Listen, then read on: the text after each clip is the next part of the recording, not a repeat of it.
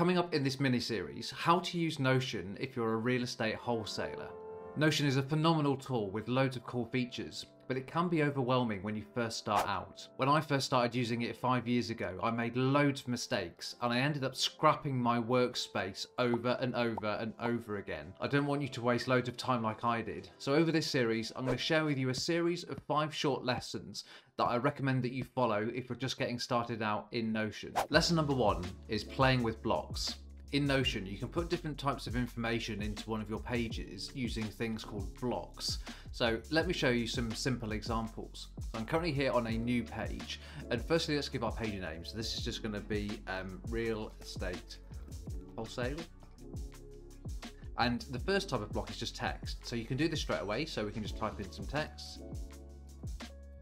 We can also add other things in, and that all comes from the forward slash key. So this is your gateway to loads of different functions. So if I press the forward slash key, you can see we've then got these different types of basic blocks here, and there's some explanations. So we're just putting some text. Page I'm going to cover in lesson two, so we'll leave that for the second.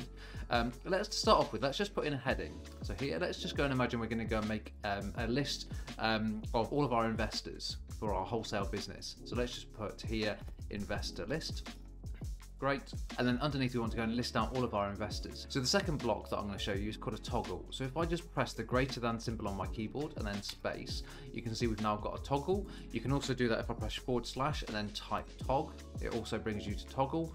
Or you could just press forward slash and then just go and scroll down. And then here we can see we've got our toggle list. Then press return. So let's say that we're going to have our new investor and this is going to be Joe Bloggs.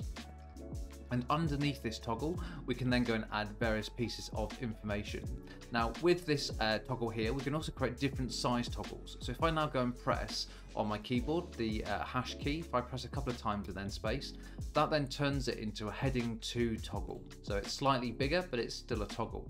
If you want to do this a different way, if we press forward slash, then go toggle and then underneath you can see we've got these advanced blocks and we've got different toggle sizes so this one is a toggle 2 uh, heading 2 but let's go and just show you as an example uh, heading, heading 3 and that's slightly smaller so I'm just going to delete that one so underneath Joe Bloggs we then want to go and add some information so the first thing is let's go and add uh, Joe's requirements. So if you press press dash on your keyboard and then space, that then starts to create a bulleted list.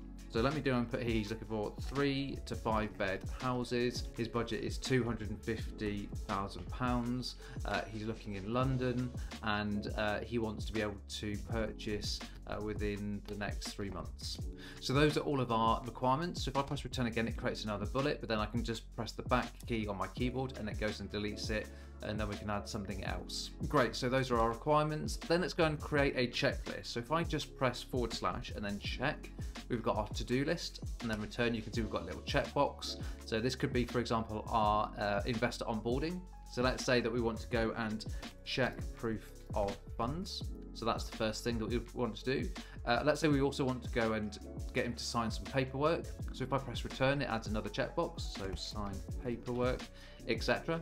If you also want to go and create a checkbox using your keyboard, you can press the two square brackets. So if I press the left square bracket and the right square bracket and then space, that also does the same thing and creates another checkbox. So finally, this could be do first deal.